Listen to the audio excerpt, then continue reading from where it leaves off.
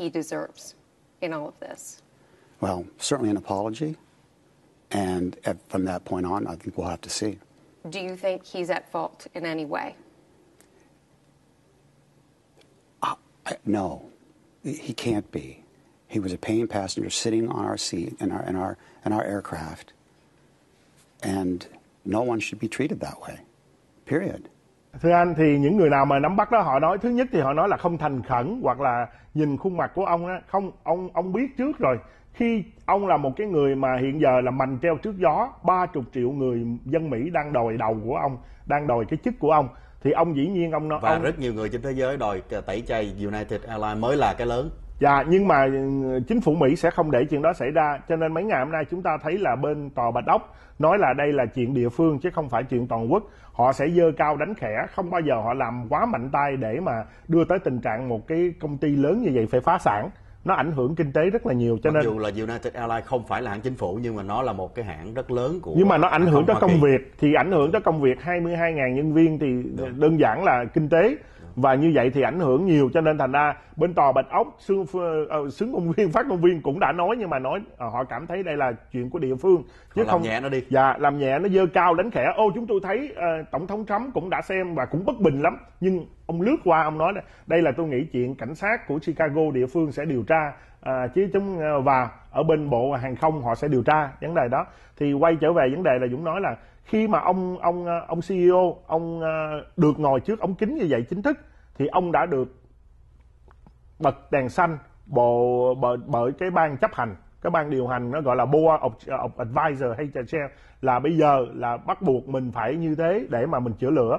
Sau một cái ngày đầu tiên gần một tỷ đô đã uh, cái là, là chứng khoán của Bốc United hơi. đã bốc hơi đi một cách như vậy thì mình biết rồi những chuyện gì nó sẽ xảy ra tiếp nữa. Thì bây giờ thà là như vậy còn hơn thì Dũng nghĩ là à, họ đã làm hai điều mà Dũng lúc đầu Dũng có nói Dũng khuyên là cái họ nên làm là đứng ra xác nhận nói là đây thứ nhất là người người Mỹ có cái cái văn hóa họ không bao giờ đạp người ngã ngựa. Bị họ giận là tại vì United có cái vẻ hống hớt à, rất là hống hách cao ngạo. À, nhưng mà bây giờ ông CEO đã xin lỗi rồi họ biết là đây là một cái điều mà à, bực tức nhưng mà họ sẽ không tiếp tục đạp ga nữa. Đó là cái văn hóa của người Mỹ. Thì khi ông xin lỗi và ông đã nói là tôi muốn gặp bác sĩ Đào và tôi cảm thấy là bác sĩ Đào không làm gì sai trái trên này thì giống như Dũng nói đó như là một tấm trắc một cái tờ check. Là quý vị viết bao con số xuống bao nhiêu chắc đi. chắn là con số phải trên 800 Ờ, đô. Họ nói là họ hoàn trả hết vé máy bay lợi cho tất cả hành khách ở trên chuyến bay đó là à, họ sẽ được họ đền bù lại hết.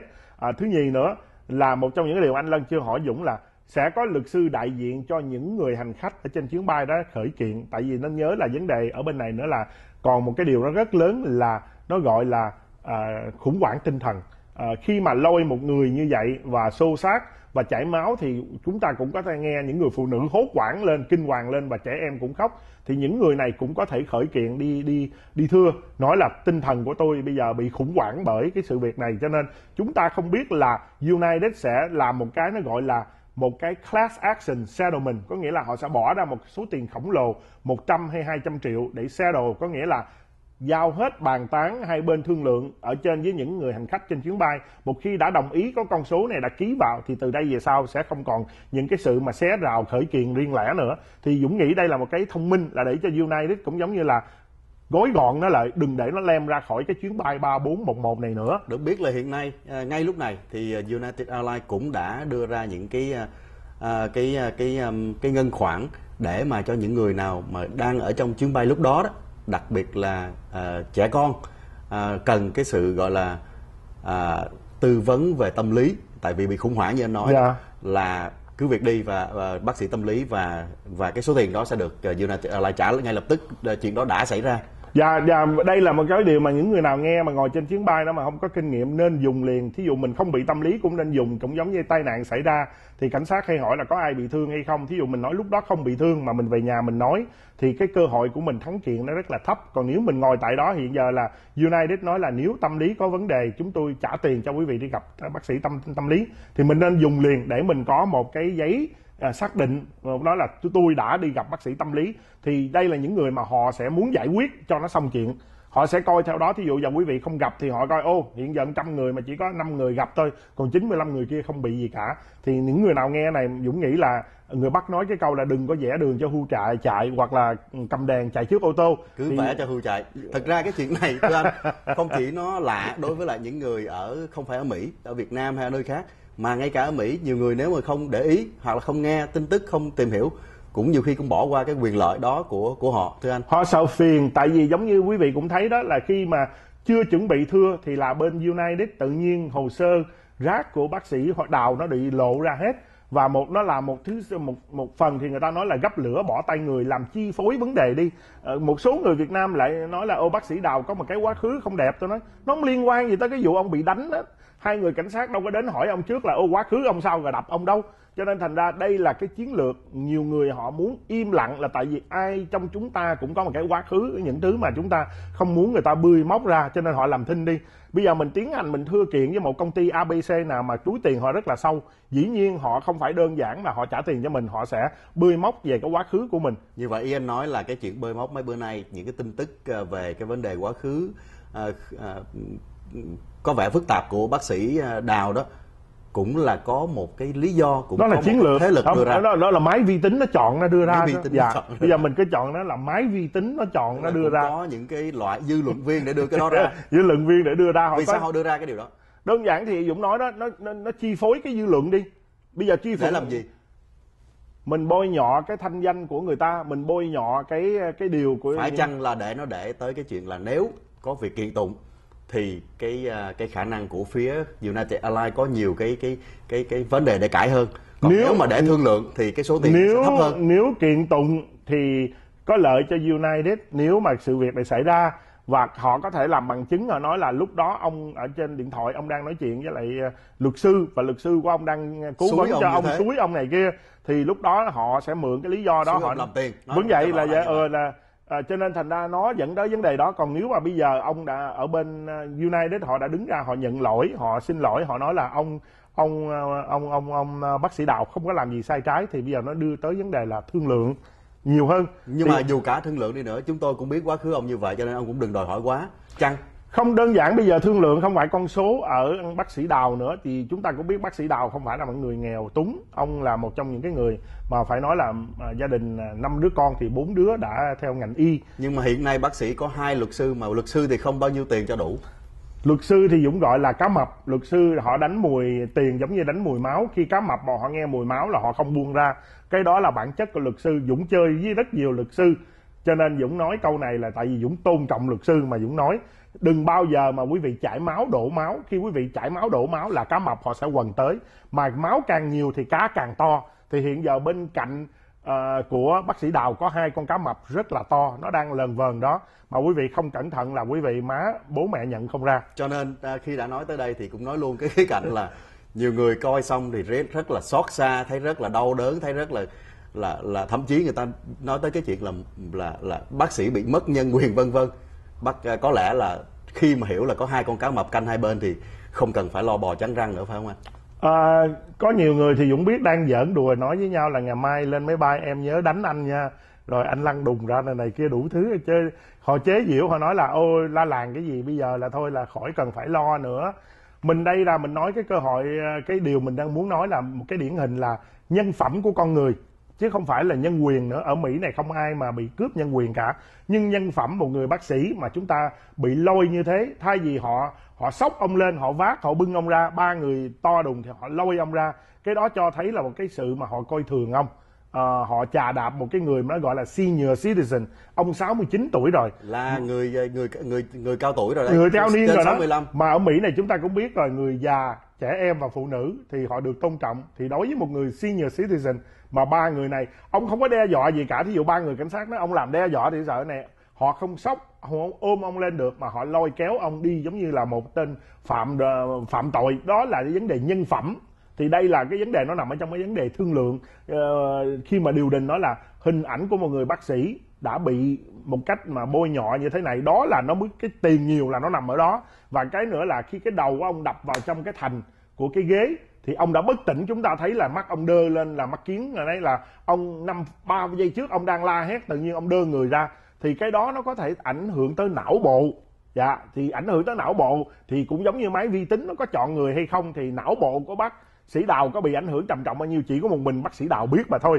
Thì Trong cái điều tin, đó ờ, thì cái tin một cái bản tin mới nhất đây thì ờ, ông ờ, đang nằm ở bệnh viện hiện nay đang nằm bệnh viện Chicago, và có dạ. gửi cái lời là gia đình ông cảm ơn tất cả những cái điều quan tâm của mọi người trên thế giới. Và ông cũng có nói câu là mọi thứ đều bị tổn thương.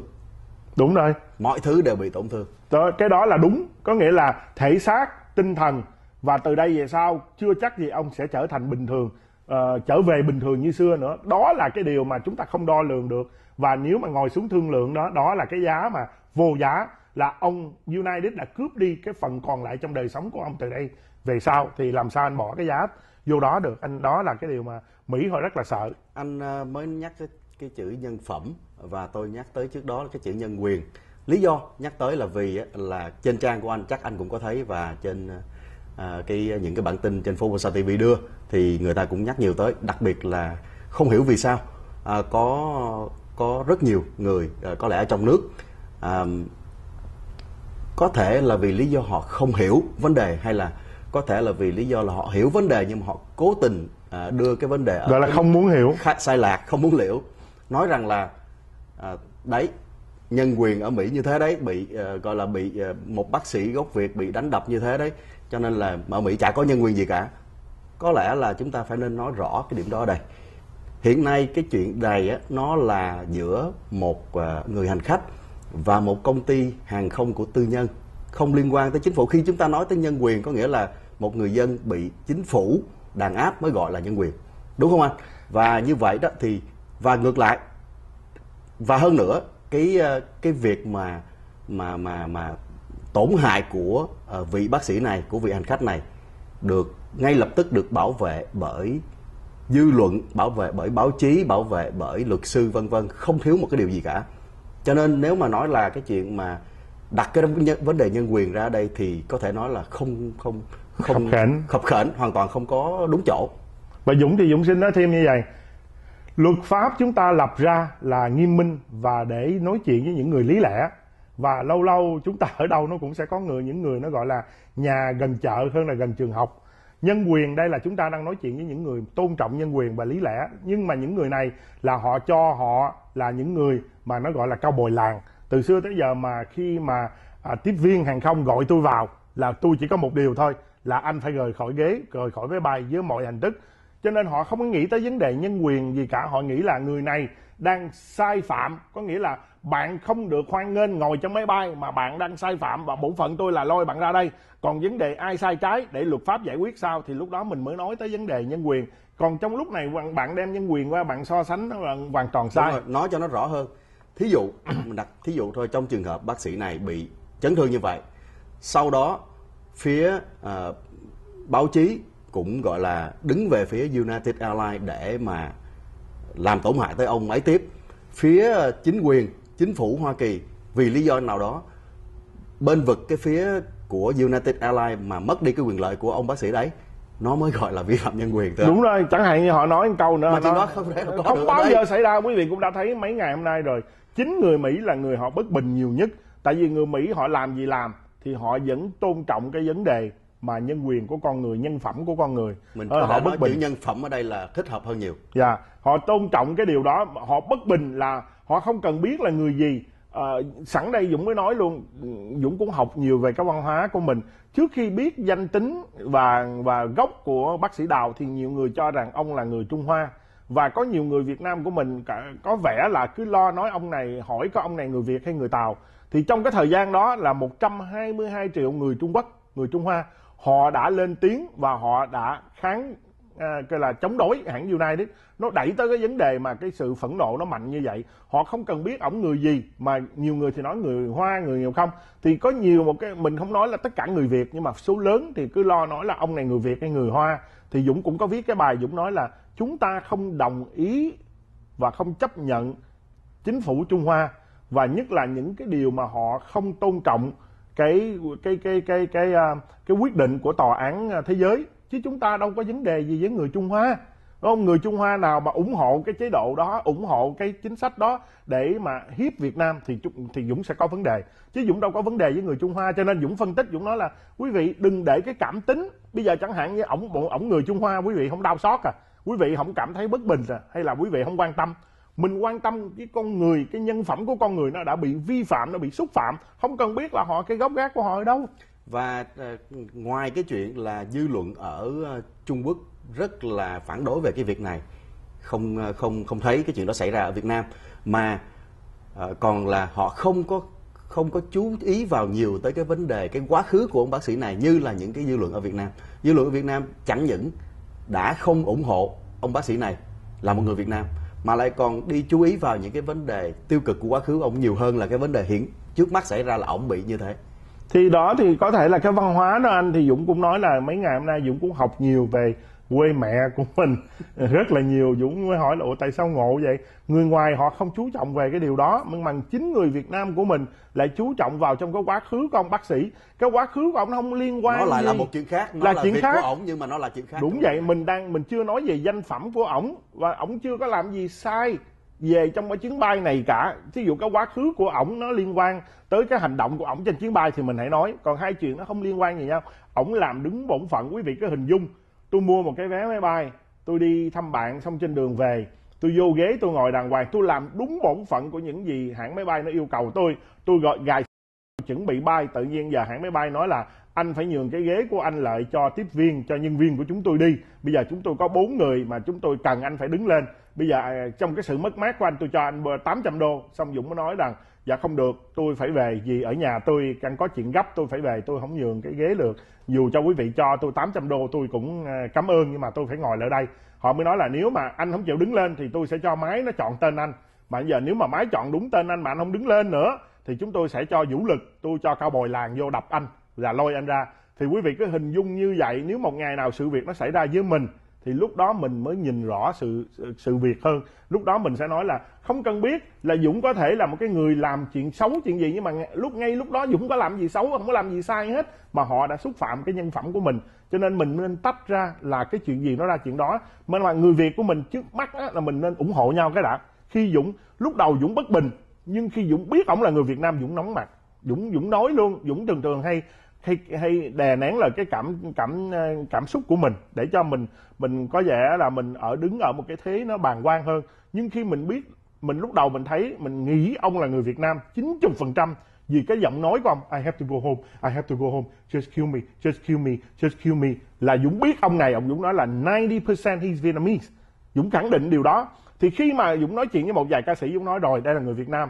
Thì khi Dũng biết, khẳng định được danh tính, Dũng bắt đầu Dũng nóng mặt thì bắt đầu Dũng thở ra, Dũng nói là mình nên làm cái gì? Chứ không thể nói nữa. Thì Dũng mới nghĩ ra cái sáng kiến là khởi lập một cái petition, một cái thỉnh nguyện thư để mà yêu cầu ông CEO có một lời xin lỗi. Tại Dũng nghĩ là nếu trước đó ông chỉ xin lỗi chung chung, chứ ông chưa có xin lỗi bác sĩ Đào. Khi ông xin lỗi bác sĩ Đào rồi, thì có nghĩa là United đã nhận lỗi. Thì cái điều đó nó sẽ mở được một cái, những cái khó khăn cho bác sĩ Đào. Cho nên đó là cái ý của Dũng hồi nãy anh nói cái ờ, chữ cao bồi làng à, nhắc mới nhớ là à, nên nói một đôi chút về cái việc mà những người cảnh sát vào những người nhân viên vào để mà lôi ông ờ, bác sĩ ra đó. Thì hiện giờ ba người đã bị họ ngưng việc hết. Họ là ai?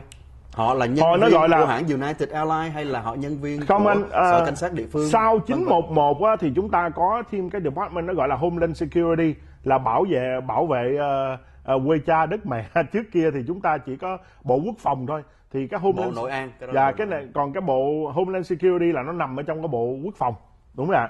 Thì bây giờ ờ, cái cái sau 911 á, thì chúng ta lại có thêm nữa nó gọi là Air Marshal thì cái những người này á, aviation officer nó nằm trong cái chi nhánh của Air Marshal. Air Marshal là những người cảnh sát chìm, họ ngồi trên chuyến bay, họ có thể mang súng theo trong người và họ bình thường như mình. Để mà có những chuyến bay người ta nói là randomly có những chuyến bay họ có những người cảnh sát chìm ngồi để ngăn ngừa những tình trạng khủng bố hoặc là uh, an toàn của khách. Thì sau 911 thì bắt đầu có cái chương trình của cảnh sát chìm. Thì những người này những ngày nó gọi là aviation officer nó nằm trong cái chi nhánh đó là cảnh sát của hàng không có nghĩa là họ không. họ không có can thiệp vào cho tới khi nào mà trong máy bay có yêu cầu của cơ trưởng. Cơ trưởng bắt điện thoại lên và yêu cầu nói là chúng tôi à, có một người khách ở trong này hoặc là có một cái sự kiện đang xảy ra mà nó ảnh hưởng tới an ninh thì họ phải vào họ giải quyết. Thay vì cảnh sát của thành phố như phi trường Chicago thay vì là Chicago Police thì họ sẽ dùng tới Aviation Police trước. Nếu mà Aviation Police không giải quyết được và nó qua quá ta quá độ nó qua mức thì bắt đầu Chicago Police họ sẽ nhúng tay vào. Thì trong cái sự việc này Dũng nghĩ là khi luật sư nhúng tay vào nếu mà thưa thì nó còn rối một cái sợi dây rối nùi nữa. Phải chăng là ở đây là là United Airlines sai khi mà ờ, mà ờ, kêu ờ, các người nhân viên cảnh sát đó tới? Nhưng mà đối với các người nhân viên cảnh sát đó thì họ làm đúng cái vai trò của họ là tức là cái người không hợp tác với họ thì họ kéo ra. Trong đầu họ họ chỉ biết như vậy. Có nghĩa là người này khi chúng tôi được hãng máy bay gọi là chúng tôi bổn phận chúng tôi là áp tải người này ra với mọi hình thức khiêng bồng bế ẩm lôi kéo làm gì làm. Còn chuyện là cái người đó làm cái gì trước đó làm là do hãng hàng không à, chứ chúng tôi chúng tôi. bổn phận chúng tôi không phải vào đây để hỏi đúng sai. Đó là chuyện đó chúng tôi vào khi chúng tôi được đưa vào là để áp tải người đó ra. Cho người, nên người nào ngồi ghế số mấy bảo chúng tôi là dạ chúng tôi là vậy thôi. kéo ra thôi. Dạ, chúng tôi là thiên lôi. Thì những này đúng là chính là thiên bôi dũng gọi là cao bồi làng.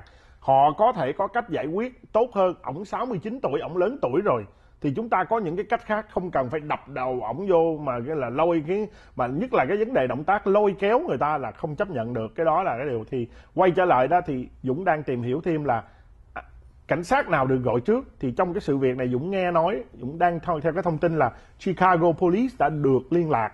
Sau đó Chicago Police mới hướng dẫn nói là liên lạc với Aviation Police là cảnh sát hàng không thì cảnh sát hàng không lúc đầu cũng không muốn nhúng tay vào sự việc mới gọi cho TSA là an ninh ở phi trường thôi. Thì an ninh phi trường lại nói là sao không gọi cho cảnh sát Chicago? Thì một cái vòng tròn đã được bán cái tới lui thì cuối cùng là cảnh sát hàng không đã vào để giải quyết sự kiện. Thì đây là cái sự việc mà Dũng nói, nếu mà luật sư của bác sĩ Đào mà đào sâu nữa, mà nói là muốn muốn coi giải quyết thêm trách nhiệm thì họ sẽ đi sâu nữa, họ coi coi cái cái cái vấn đề là trách nhiệm nó nằm ở đâu và tại sao nếu mà nhúng tay vào đúng người đúng ờ, nhúng tay vào đúng lúc thì sự việc nó không xảy ra trầm trọng như thế này? À, một trong những cái yếu tố mà nhiều người nói tới mà chúng ta không thể bỏ qua à, trong cái buổi nói chuyện ngày hôm nay đó là liệu có cái yếu tố kỳ thị ở trong này hay không? Người ta đặt tới tình huống là đó là hai vị à, gốc Á Châu lớn tuổi. Nếu mà hai người đó đổi ra làm hai người gốc à, da trắng hay là hai người gốc da đen thì chuyện đó có thể đã không xảy ra. Theo anh nghĩ thì sao? Mình khó nói những gì nó nằm trong đầu người ta cho nên ờ, gần đây nó có một cái sự kiện ờ, lớn mà quý vị cũng thấy tại sao cảnh sát chìm nó phải đóng vai trẻ em để nó lấy ra những cái gì trong đầu của người ta mà suy nghĩ. Phải không ạ? Những gì mà họ suy nghĩ mình đâu có lấy ra được. Thì mình có thể nghi vấn bản thân Dũng Dũng cũng nghi ờ, vấn cái gì đó. thôi. Dũng nghi vấn nhưng mà Dũng đưa ra những cái khía cạnh khác. Tại vì có thể Dũng lớn lên ở bên Mỹ và Dũng học Dũng bị hấp thụ cái văn hóa của người Mỹ. Và một phần lớn nữa là những người mà Dũng lớn lên họ không nghĩ Dũng là người Á Châu. Cho nên có những cái điều mà họ suy nghĩ về người Á Châu. Từ bé họ nó nó, nó một phần nào nó nằm trong máu mình.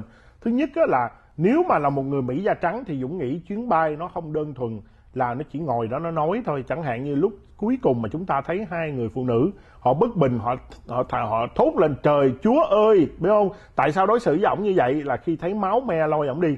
Chứ mà trước đó nữa thì mình thấy trước ông ngồi có một ông mỹ bận áo màu cam rất là to cao. Ông không động tĩnh ông không nhúc nhích ông không nói gì cả ông không can ngăn dù cho ông lên đài CNN ông nói là bác sĩ Đào rất là nhã nhặn rất điềm đạm không làm gì hết. Thì tại sao ông không nói lúc mà thấy vậy, ông chỉ cần ông đi lên tiếng thấy cái sự bất bình thôi mình lên tiếng hoặc những người chung quanh bất bình lên tiếng thì câu chuyện những người cảnh sát này họ phải họ phải họ phải nhún nhường xuống. Nhưng cái chuyện đó nó đã không xảy ra thì nó dẫn tới cái điều cho thấy. Và ở trong đó nữa mình thấy nữa là là hồi lúc mà bác sĩ Đào bị ờ, mặt mày bị máu không chạy ngược vô mà có vẻ là ông đang bị bấn loạn có thể là ông bị vừa mới có có bị bất tỉnh và uh, tỉnh dậy thì không biết mình đang ở đâu. Quên mặt mày mình máu nữa nó là I have to go home I have to go home. Thì là khi ông chạy vào thì ở trong cái phần ghi âm mình nghe cái câu một con người Mỹ nói là really man? Đó là cái câu là mày còn vào được nữa à? Ý nói là nãy giờ đã bị trì trệ vì cái sự kiện này. Thì họ trong tư tưởng của họ là chuyến bay chuẩn bị cất cánh. Thì họ lại thấy ông bác sĩ đào lao ngược trở vô máy bay mà mặt máu me không còn còn đứng ôm cái cụ mà cái chỗ đó là cái buồng mà nó ngăn giữa cái cái khoang nó ngăn thương gia và cái khoang ờ, phổ thông ra thì ông đứng ông sọt tay vô trong cái uông khuôn đó ông ôm và mặt mày máu xong thì chúng ta nghe rõ ràng trong cái đoạn ghi âm đó một giọng của người người Mỹ nói là really man đó là cái câu mà mình nếu mà hiểu tiếng Anh chưa đủ đó. mình phải hiểu cái văn hóa có nghĩa là có thật không vậy biết không? Có nghĩa là trong đầu của tôi tư tưởng tôi chuẩn bị là lôi ổng ra rồi xong giờ chuẩn bị bay rồi giờ ổng đi ngược cho vô nữa. Chứ không phải nói là nhìn thấy khuôn mặt của ổng mà tỏ cái vẻ bất bình thì nó khác. Cái đó là những cái điều mà nó dẫn tới cho Dũng có những cái suy nghĩ là nó có một cái phần kỳ thị ở trong đó. Kỳ thị ngầm, luật pháp nó không cho, luật pháp Mỹ là một cái hợp chủng mà chúng ta thấy rồi, anh em trong nhà còn không thuận nhau thì đừng nói chi một cái hộp chủng quốc Hoa Kỳ. Thì dĩ nhiên hiến pháp và luật pháp của Hoa Kỳ cấm nhưng mà nó có kỳ thị không? Có. Và ở trong cái vụ này bác sĩ Đào có hay không? Thâm tâm của Dũng Dũng không muốn nghĩ là có. Nhưng mà càng ngày thì Dũng Dũng nghĩ là cái chiều hướng đó là chẳng hạn như là máy vi cái máy tính cái chọn máy vi tính nó có kỳ thị hay không mà nó máy trúng người máy vi tính thực sự là người ta nói machine don't lie thì thường thường là máy nó không trái nhưng mà Cái người bấm máy. cái người sử dụng máy Cái người bấm là nút. mình đang nói chứ máy nó không biết lie nhưng mà cái người sử dụng máy tự nhiên hai cái người từ ờ, kêu là tự nguyện trước đó đổi ý không tự nguyện nữa lại trở thành hai người máy chọn thì cái đó là cái sự ngẫu nhiên mà mà mà trẻ chị- con cũng không tin được trẻ con không thể nổi ra nhưng mà thì đó là Dũng nói là mình chỉ đau xót khi cái sự việc nó xảy ra. Một ông già 69 tuổi, điềm đạm, không có thô lỗ, nhỏ con, mà lại bị đối xử như thế này, thì đó là một cái điều mà chúng ta chúng ta đang nói tới là vấn đề nhân phẩm của một con người bị xúc phạm trầm trọng. Và nếu mà đối với một người già lớn tuổi, Mỹ da trắng, thì họ có để chuyện này xảy ra hay không? If there is a 69 year old Caucasian guy that being treated like that, will the whole plane of United 3411 sit still in their seat and do nothing. That's my question is is that if the same thing happened to another senior, 69 years old, who didn't do anything, right, to provoke this kind of punishment, this kind of, of blatant torture and degrading of human being, would the whole plane sit still in their seat without reacting? That is my question.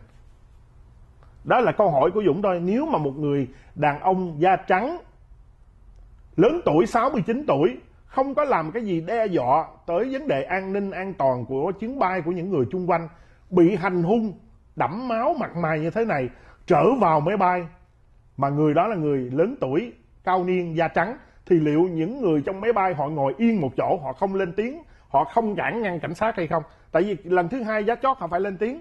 Thì đó là cái điều mà mình đang, mình làm cho mình phải mất ngủ một chút xíu và suy nghĩ. đó là mỹ chớ nói, chỉ mới nói tới yếu tố kỳ thị về chủng tộc đó, chưa nói tới yếu tố kỳ thị về giới tính nếu đổi lại, đó là một bà cụ 69 tuổi, bà cụ tóc vàng, da trắng 69 tuổi, hoặc là một cô gái 19 tuổi, thì người ta có có, có chọn cô ấy để mà, mà kéo ra hay không Máy có Khi- chọn, máy có anh chọn Lân lại quên máy lại có chọn hay không Máy cảnh có sát chọn. có kéo cổ hay không Dạ. và người ngồi xung quanh có ngồi yên hay không Có nhiều câu hỏi quá nha. Nhiều câu hỏi. Cho nên đời sống chúng ta luôn luôn là như thế. À, không ai biết trước được ngày mai mà có biết cũng không làm gì được. Um, ở trên trang Facebook của anh khi anh để lên á, thì à, rất là nhiều người vào xem và rất là nhiều người vào ý kiến. Vâng. Trong các ý kiến đó thì chắc anh cũng đã nhìn thấy có rất nhiều ý kiến khác nhau, có Vâng. kể cả những ý kiến um, ghi nhận một cách rất chủ quan theo cái cách nhìn nhận riêng của họ, theo cái cách suy nghĩ riêng của họ về luật pháp nơi địa phương của họ sống hay là nơi địa, nơi đất quốc gia của họ sống. Thì có những cái mà mà mà mà à, về hoàn toàn thiên về hướng này và cái cái hoàn toàn thiên về hướng kia. Anh có ghi nhận những cái điều gì mà anh muốn muốn muốn nói nhân cái dịp này về những cái à, cái cái ý Dũng thì cái ờ, trang của anh. thì khi mà trong cái trang nhà Facebook thì chúng ta nói hiện giờ Facebook nó hiện đại lắm cho nên hại điện mà nó cũng hại não. Nếu mà chúng ta Hại não. hại, Hại điện não. hại- hại điện. Nếu mà chúng ta đọc mà chúng ta chú ý và để tâm thì nó sẽ hại não lắm.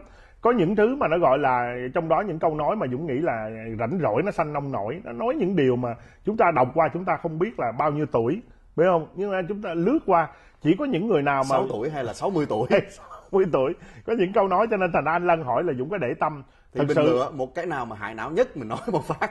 Thường thường có một cái người nào mà cứ lặp đi lặp lại đến hết cái người ta đã giải thích mình mà họ cứ cố tình nhất là có những tình trạng là họ không viết mà họ hay lấy cut and paste, họ copy những cái người khác viết và họ đem vào nhà mình, họ đổ rác từ trên xuống dưới, chỗ nào họ cũng thả một cái câu là những người đó thường thường dũng phản ảnh và dũng lên tiếng liền. Và dũng cũng giống như là câu bồi làng vậy là dũng cho biết trước và không khi mà áp dụng là bước thứ nhì là dũng block, xong rồi Dũng report luôn với lại Facebook luôn, Dũng đi tới ba bước lần tại vì hiện giờ cái lượng view, cái lượng follow trong nhà Dũng gần 130 ngàn khi anh lên tới cái mức nào đó, thì Facebook họ biết, họ ưu đãi anh anh là những người mà đàng hoàng và những người nào đến hay chọc ghẹo anh hay làm những gì thì khi anh report thì họ sẽ đi điều tra cái người đó liền là cái người nào. Thì thường thường Dũng Dũng sẽ cho họ ba lần, Dũng nói là, anh hơi quá đáng, anh hơi quá lố. Này, mà họ vẫn tiếp tục để mình biết cái người này không phải là cái người để mà mình ngồi đó mình mình à, lý giải. Thì à, Dũng sẽ black họ, xong Dũng report họ. Thì quay trở lại, anh Lân nói là, có một điều cho Dũng, cho tới bây giờ Dũng vẫn băn khoăn là cái, trong cái sự việc này thì tại sao lại đem cái quá khứ của bác sĩ Đào vào đây mà nhất là người Việt của mình nói không à?